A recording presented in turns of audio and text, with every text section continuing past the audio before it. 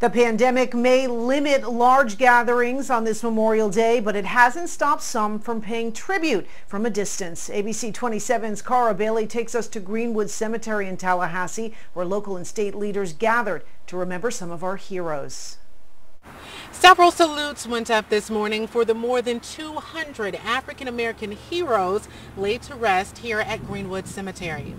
State Senator Al Lawson organized the services after he learned last year that veterans buried at the site weren't having the flags updated at their markers in the same manner as those at the National Cemetery on Apalachee Parkway. He then called on local municipal and faith leaders to make sure that their legacies are not forgotten. When you give your life for your country, that's the ultimate thing you can do. And uh, we have younger persons that we want to let them know that uh, blacks before them have given their life for their country and, and we want this to live on forever.